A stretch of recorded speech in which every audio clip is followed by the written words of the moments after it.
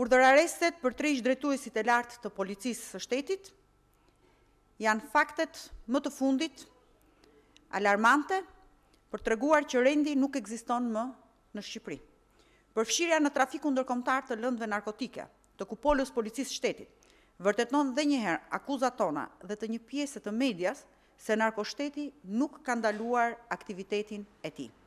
Përkundrazi, me fshehjen që po i bën tre të akuzuarve të drejtësisë, por vërteton përpara shqiptarëve se vijon të jetë pjesë e banditizmit të Habilajve apo të bandave të tjera që kanë në pronësi drogën në Shqipëri. Ky veprim i sotëm është në vazhdim të mbrojtjes së bandave të drogës dhe tregon dhe njëherë Pse sot dhe kësaj dite nuk janë ndaluar nga policia dy vëllezërit Habilaj të cilët janë në kërkim?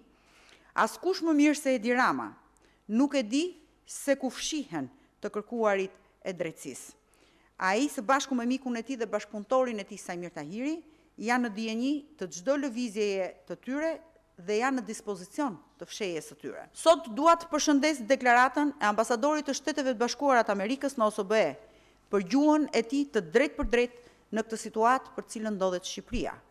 LSI ka të njëjtin qëndrim të palëkundur se korrupsioni dhe kriminaliteti ngelen pengesat më të mëdha për zhvillimin e Shqipërisë.